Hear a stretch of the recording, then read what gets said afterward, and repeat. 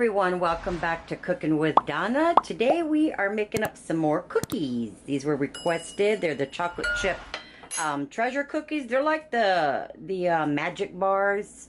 I don't remember who put those out. If it was the the milk, the condensed milk, or the the chips. I'm not sure, but they're a cookie form and they're really good. And I'm going to make some up so whoever hasn't tried them if you want to follow along, let's go ahead and get them going. Okay, here my bowl. And guys, if you see my arms all scratched up, don't mind them. I got a new puppy, as I stated, and um, she's really doing some damage to my arms, the poor thing. I clipped her nails, but she's... You know how that goes. They jump all over you. And I wanted to bring up, guys, I'm almost at 10,000 subscribers. And those of you have not seen uh, my other video, I did announce that I'm going to be giving away a beautiful kitchen knife set. So all you have to do is get subscribed, hit that subscribe button and hit that bell for further notices when I upload. And you subscribe, you're automatically in the drawing for that knife set. So it'll be more than likely next Wednesday when we hit that, I hit the 10,000 and we'll be giving that knife set away. It's a beautiful kitchen knife set. So subscribe, get in that drawing, okay? Now here I have uh, a stick of butter, which is um, one half cup, okay? And I have one 14 ounce can of condensed sweetened milk. You want the condensed, is that too far? Can you guys see that? I'm using a different camera. Condensed sweet milk, it's a 14 ounce can. And you want to get all of that yummy goodness in there.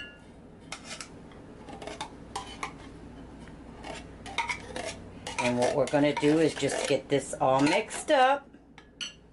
And we'll be back. Alright guys, make sure your butter is room temperature because you want that all to smooth out with your, your um, condensed milk there. Go ahead and get your oven preheated to 375 which I'm going to do here because I forgot to get mine done or started preheating. Okay, 375. All right. Now we got our butter and our, our, our can of milk. Now make sure it's condensed milk. Condensed is sweet milk. You don't want evaporated. Has to be condensed. A lot of people will confuse that.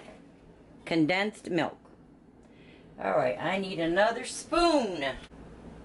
Okay. Now in the bowl here, I have a one and a half cups of graham cracker crumbs. Can y'all see that? Some crumbs. And I have a half a cup of all-purpose flour. Now I just put my, a lot of times you can find these crumbs in a box, they sell them. But I just bought a box and I put them in a big Ziploc bag and smashed them and rolled them with my rolling pin. Or by all means, you want to crank out your processor or your, your blender, put them in there and get them all crushed up real good. But I just rolled them out. Good exercise. I need arm exercise. And I have two teaspoons of baking powder. That's two teaspoons. These are really good cookies, you guys. We like them. Okay. Just stir this all up together real good. And no, there's no eggs. There's no sugar because our sugar is our condensed sweet milk, so we won't be needing any. So we're just going to mix this up really good. And I'm going to try to get a few videos a week in. I may to try to get caught up here. I'm a little behind on requests, so I'm going to try to do a few videos a week. If I, you know, you guys, if you got to hit that bell, you'll have that notification. But um, to here, I'm going to add this to our sweet milk and butter.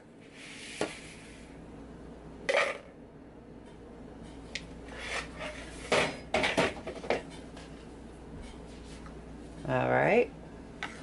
Just kind of stir this up a little bit. Can you guys see that pretty good? Let me move that in closer. Whoop, making a mess, Donna.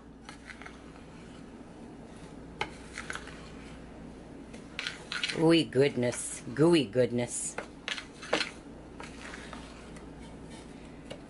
These are good texture. They got a nice chew to them. Okay. And over here, I'm going to add in one and one third cups of coconut. That's one and one third cups. And I have one cup of chopped walnuts.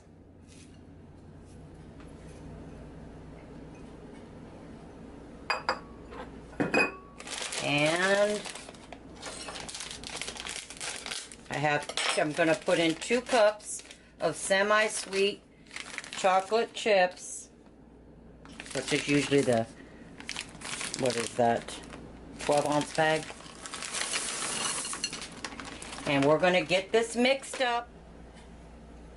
All right, I got it all mixed up. Now, if if your dough seems to be like really sticky, just stick it in the freezer for maybe 10 minutes, but no longer because you don't want this dough real cold because then you're going to have to adjust your cooking time.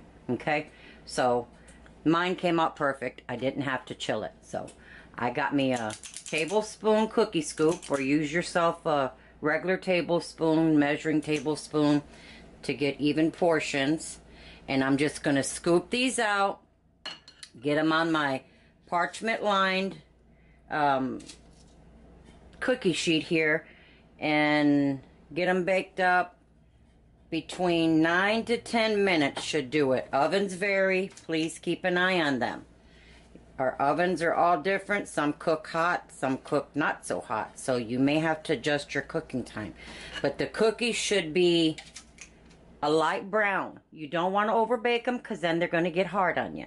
So 9 to 10 minutes tops should do it. Okay, I'm going to get these in my preheated oven. Okay, guys, there's the cookies. They're nice and chewy and soft, and just don't overbake them. Um, they're gonna in the picture they look a little bit more tan colored, brown, but they're actually more white looking, so they're not gonna brown a lot for you. So you're not looking for a real brown cookie. If you get them brown, you've probably cooked them too long. So don't over brown them. My first batch took nine minutes. My second batch took eight minutes. And I did pierce them a little because I had some extra chips. I pierced them with some um, more chips because we love chocolate, but you don't have to. But if you have, or you could put three quarter cups of, uh, one and three quarter cups of chips in your cookies, and you could use the other quarter cup to, you know, put a few on them when they come out. Just pierce them there. And, um, but like I said, don't over bake them.